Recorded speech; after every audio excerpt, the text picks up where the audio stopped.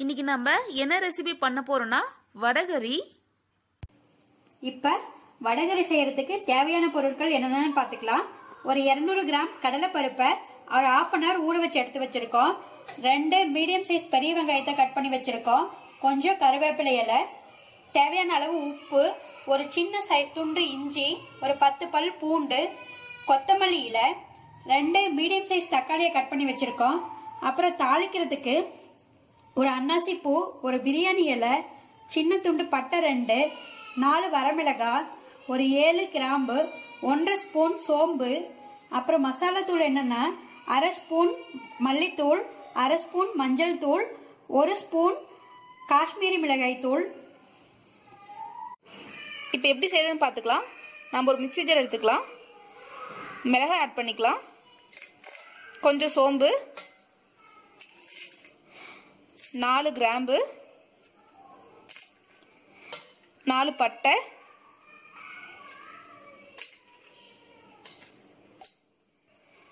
அடுத்தது ஒரு நாலு பல்லு இஞ்சி பூண்டு ஒரு அஞ்சாறு பல்லு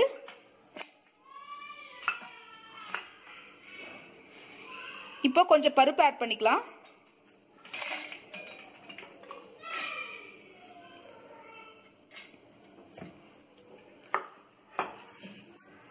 தேவையான அளவு உப்பு போட்டுக்கலாம்.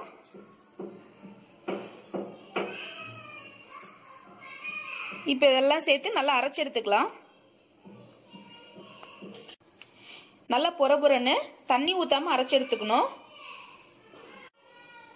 இந்த மாதிரி நல்லா பொற பொறன்னு அரைச்சி எடுத்துக்கலாம். மீதம் இருக்கிற பருப்பெல்லாம் ஆட் பண்ணிட்டு இப்போ இஞ்சும் பூண்டும் ஆட் பண்ணிக்கலாம்.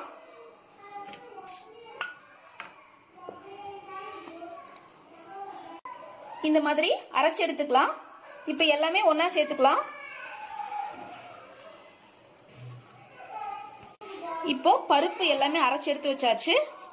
இப்போ அது கூட வெங்காயம் சேர்த்துக்கலாம். கொத்தமல்லி.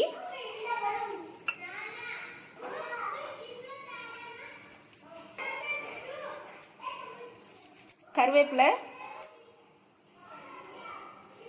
நல்லா கிள்ளி போட்டுக்கோங்க கருவேப்பிலையை.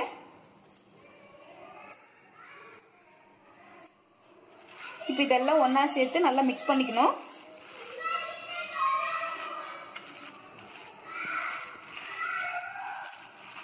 இப்போ இது தனியாக எடுத்து வச்சுக்கலாம். இப்போ வந்து இதை வந்து நல்லா உருண்டை பிடிச்சி வச்சுக்கலாம். அப்போ தான் வடை போகிறதுக்கு நமக்கு நல்லா ஈஸியாக இருக்கும்.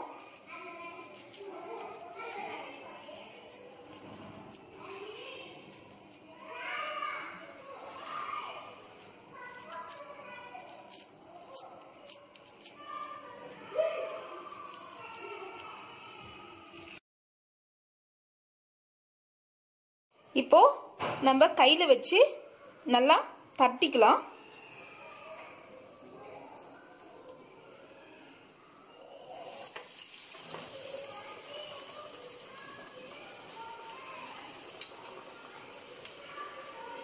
கையில் வச்சு நல்லா தட்டி எண்ணெயில் போட்டுக்கலாம்.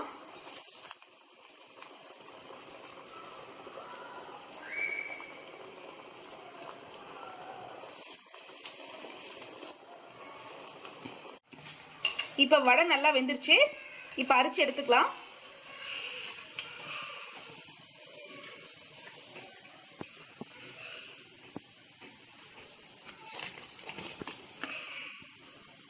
அடுப்பில் ஒரு கடாய் வச்சு தேவையான அளவு எண்ணெய் ஊற்றிக்கலாம்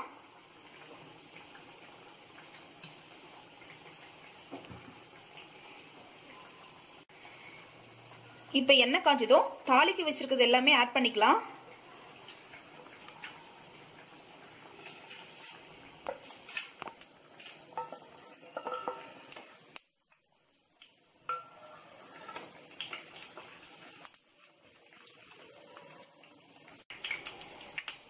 இப்போ எல்லாம் நல்லா பொரிஞ்சிருச்சு. வெங்காயம் ஆட் பண்ணிக்கலாம்.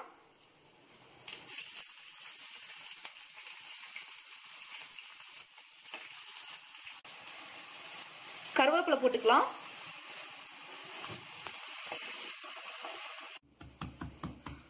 பூண்டு நல்லா இந்த மாதிரி இடிச்சு போட்டுக்கலாம்.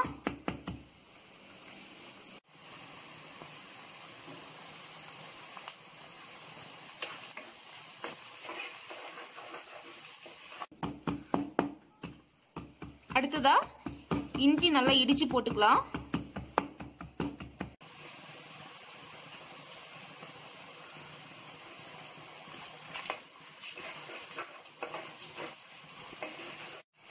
இஞ்சி பூண்டுலாம் இப்ப நல்லா வதங்கிருச்சு. இப்ப கட் பண்ணி வச்சிருக்க தக்காளி ஆட் பண்ணிக்கலாம்.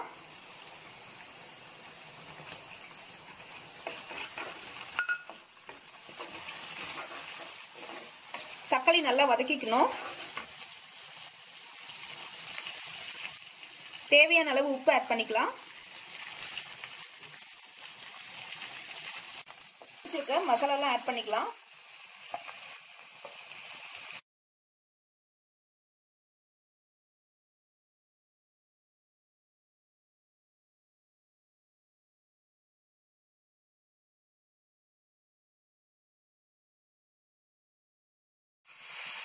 மசாலா நல்லா எண்ணெயில் வதங்கிருச்சு.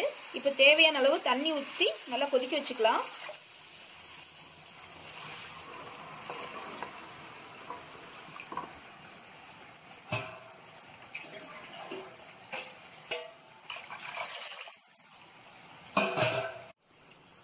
மசாலா நல்லா கொதிச்சிருச்சு. இப்போ நம்ம வடையை நல்லா இப்படி உதுத்து வச்சுருக்கோம். இதை நம்ம இப்போ அது கூட சேர்த்துக்கலாம்.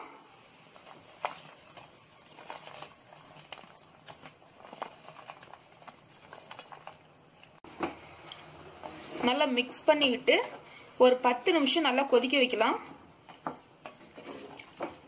இந்த ஸ்டேஜில் நீங்கள் இப்போ கொத்தமல்லி தலை தூவிட்டு அடுப்பை ஆஃப் பண்ணிக்கலாம்.